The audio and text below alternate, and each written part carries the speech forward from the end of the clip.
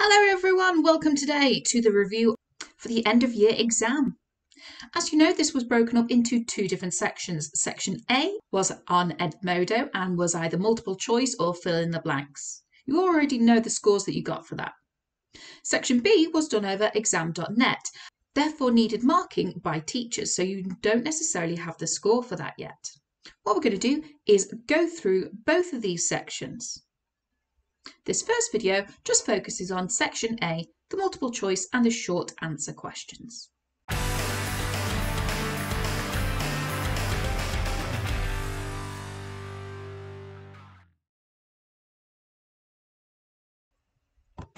Okay, then the first bit of section A was a balancing chemical equations.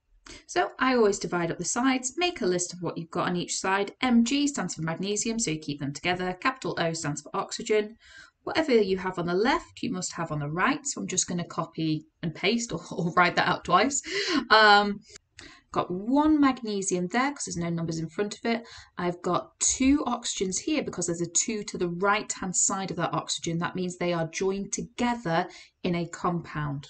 So there are two lots of oxygen.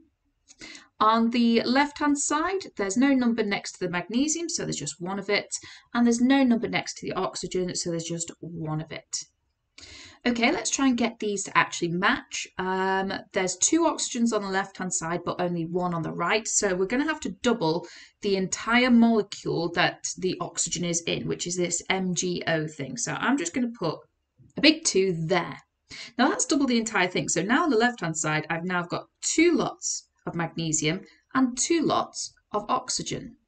That has made my both of my oxygens match together, which is absolutely great, but I've accidentally screwed with the number of magnesiums I've got. So I've now got two on the right hand side and only one on the left. So all that I'm going to do is put a big number two just there. So that now matches. Okay, so we were looking for two, uh, one for that one, and a two for the MgO or OMG.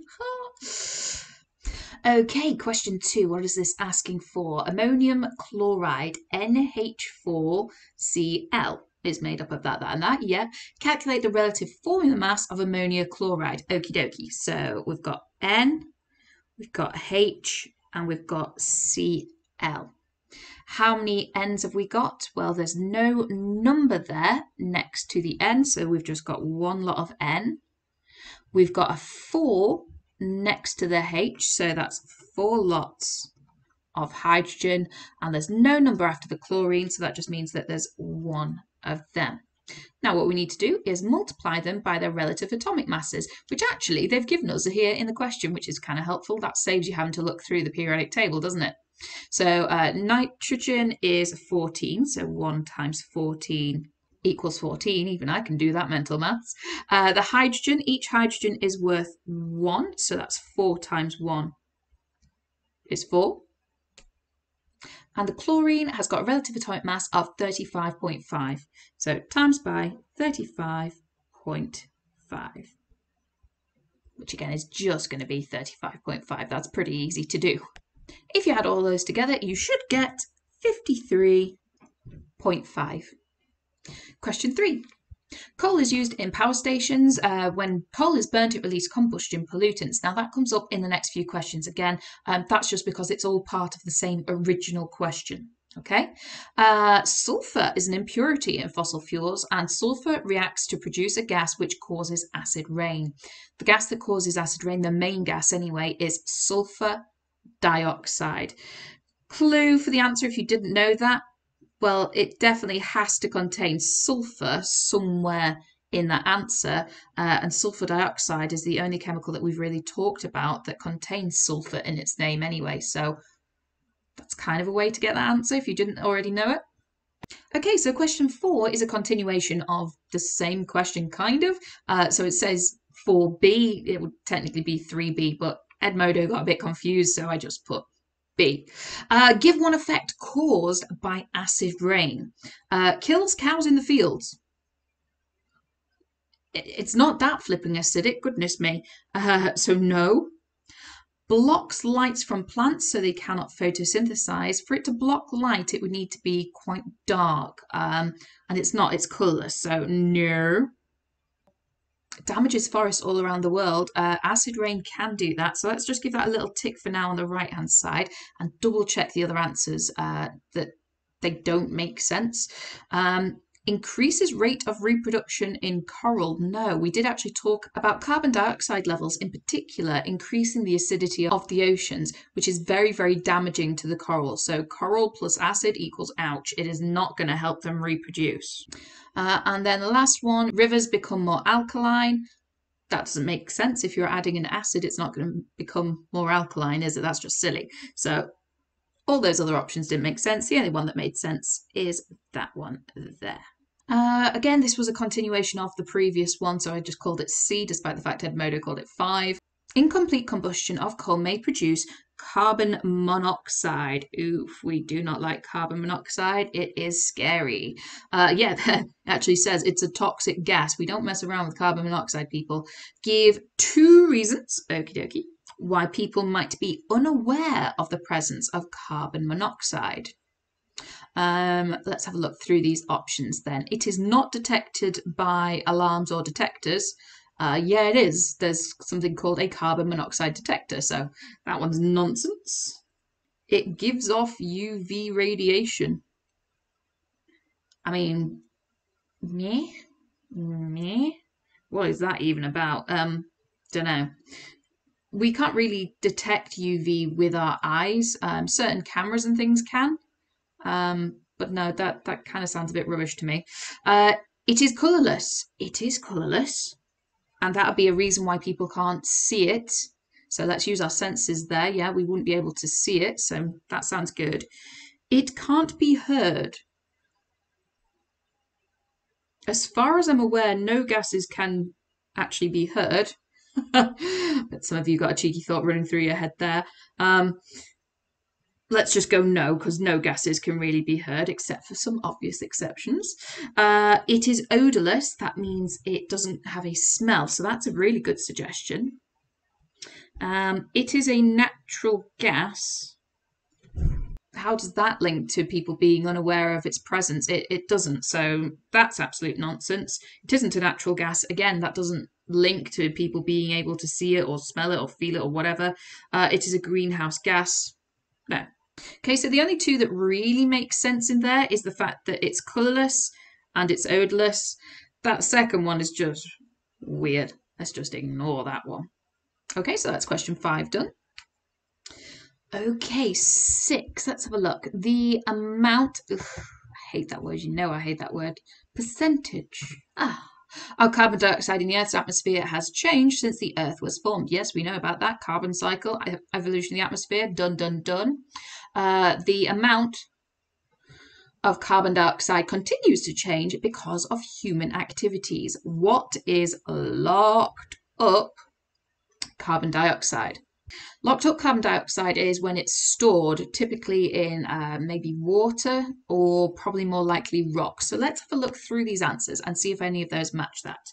Uh, the purpose the process by which carbon dioxide is harvested and stored in fire extinguishers no. Uh, when carbon is released in an endothermic decomposition reaction. Well, it says released. If it's been released, that's not going to be locked up.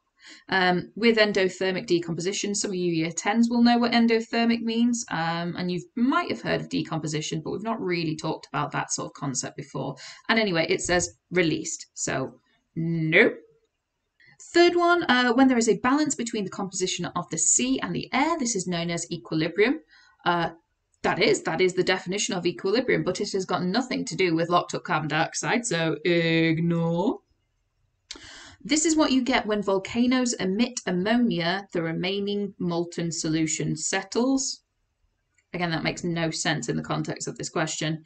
Uh, carbon dioxide from the air that has been reacted with, absorbed by rocks such as limestone. There it is. Okay, it's that last one. Okay, locked up, that it's kind of been locked away or absorbed into something, for example, water or rocks. Limestone is a type of rock, a sedimentary rock. Okay, This one, uh, question seven, uh, it's not seven, it's the continuation of the previous thing. It's working on the Earth's atmosphere and that carbon level changing. Uh, this question does also come up in section B as well, the longer answer questions set on exam.net. So you have seen this graph a few times now. So what are we looking at in this one? Uh, give two reasons why the percentage of carbon dioxide has changed. Okay, so once again, we're looking for something related to the carbon cycle. So things absorbing carbon, emitting carbon, uh, that's what we're looking for here. So what options have we got? Uh, living things, including plants, produce it through respiration. Respiration is taking in oxygen and giving out carbon dioxide, so that's a definite maybe. Let's give that a little bit of a squiggle there for a maybe. Uh, carbon dioxide was emitted from volcanoes and ammonia reacted with oxygen to produce this and other gases that doesn't really make any sense, so let's get rid of that one. Carbon dioxide was sequestered into bodies of water. Yes, this sounds good to me. And then the last option, carbon dioxide decreased because plants took it in and used carbon dioxide for photosynthesis. Uh, they did and they did, so that makes sense. Looking at the graph, we can see here that the carbon dioxide levels started pretty high and that they've gone quite low. So the main change that we're trying to justify here is actually a decrease in CO2.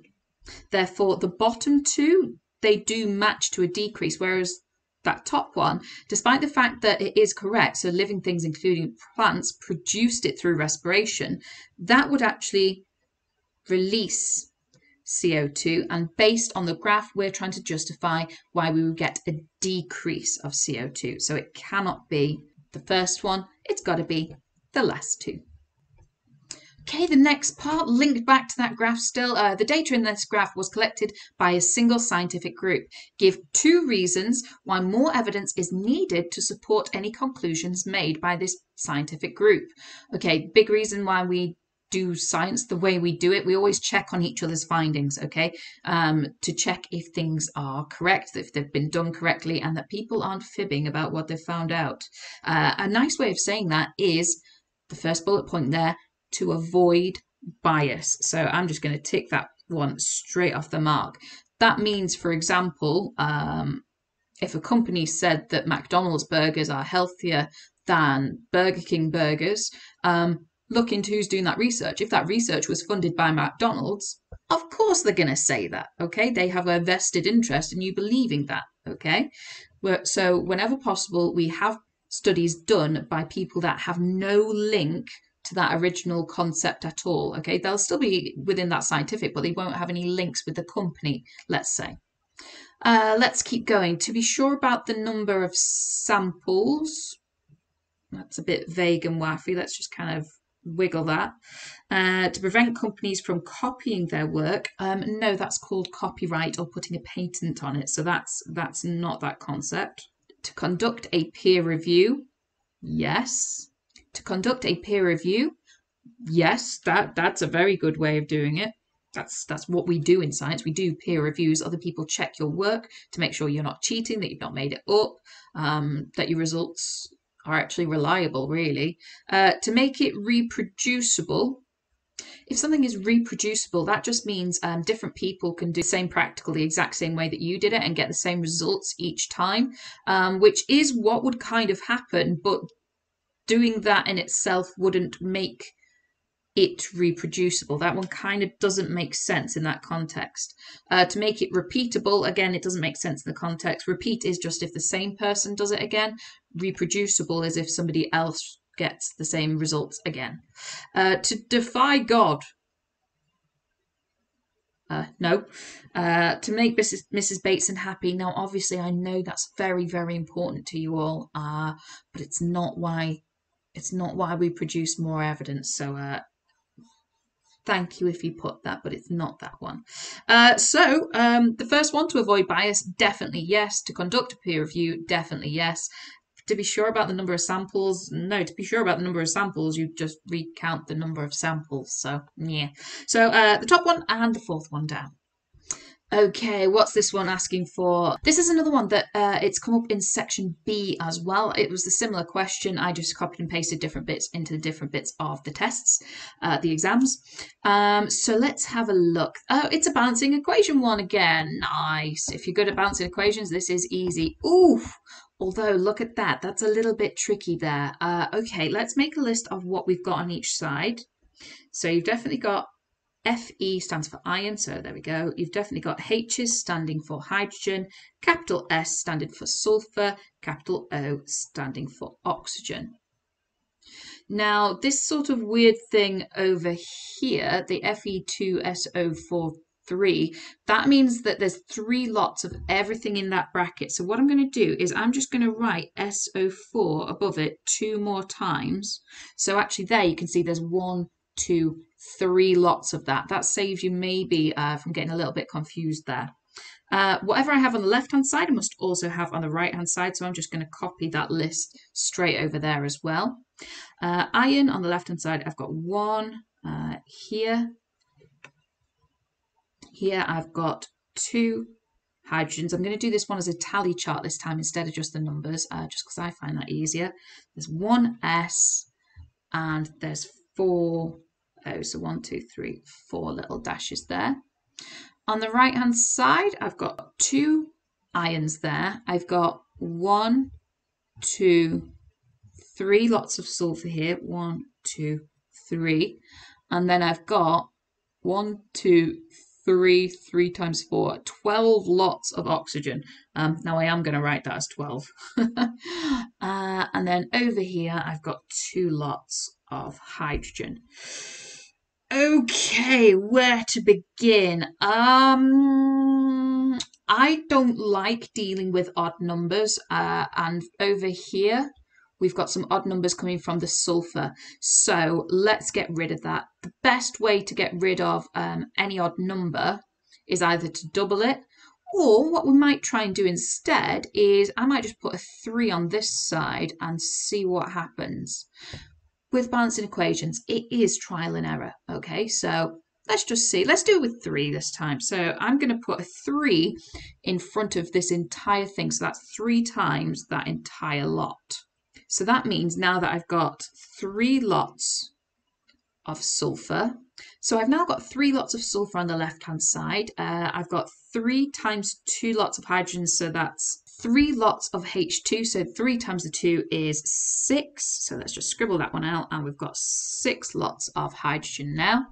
Um, and oh my days, three lots of four of oxygen. So three times four is 12. Oh, this works quite well. Look, look, look. Because now we've managed to match the oxygens there and there. I like this. Hopefully they'll stay matched. Uh, so the oxygens match now. The sulfur matches now as well. Um, okay, we've got six hydrogens on the left-hand side, two on the right. Uh, if I times two by six, I get three. So I'm going to put three there. So now I've got six over here. So six and six. Okay, that works. I've got two irons on the right-hand side, only one on the left-hand side. That's quite easy. I can just go two. And it does say don't leave any space blank. If you think there's one, put one. So there we go. Uh, two, three, one, three. Okay. Now that was a slightly trickier one to balance. Um, on a real exam, that would be closer towards the end of the paper because that is a uh, trickier one to do. Okay, so that was section A. Section A from Edmodo is multiple choice or short answer or fill in the blank. That section was out of 13. If you go to your Edmodo account, uh, I think I've managed to unlock it now, so you should be able to see uh, what you've put as an answer and then compare it now to our corrected answers. In the next video, I'm going to go through section B, the longer answer questions, which as yet you don't know how you've done on. So please head on over to that video next. Goodbye for now. Bye bye.